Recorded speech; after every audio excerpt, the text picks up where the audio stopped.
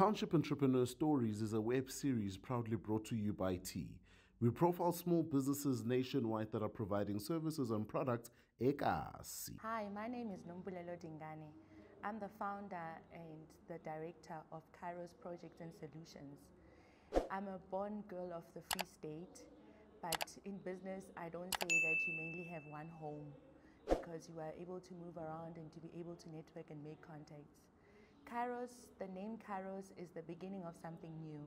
I lost both my parents, my dad before and my mom just now in August.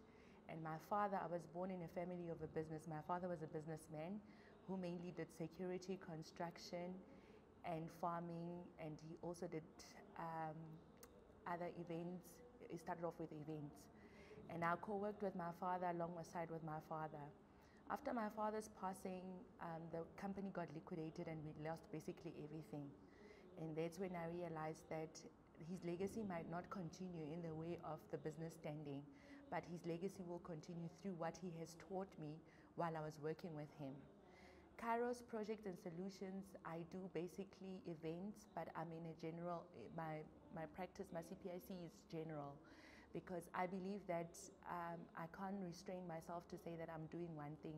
As a business person, you must be able to do five in one.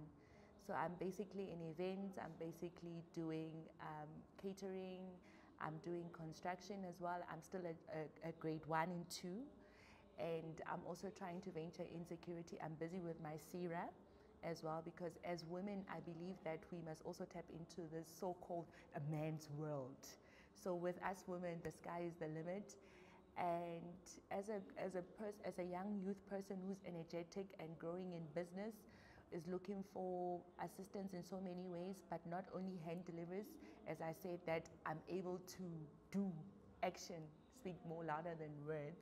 As most of the people can it's like applying for a job writing a cv and then when it comes to the action it's not so easy to put it into action all i'm just saying is that um, i can be contacted on my whatsapp it's 071 141 4805 in terms of catering in terms of events at the moment i've been working with the municipality a lot with catering and um, I've been sending through as well requests of other services that I can supply in, in the municipality as I'm also doing supplying.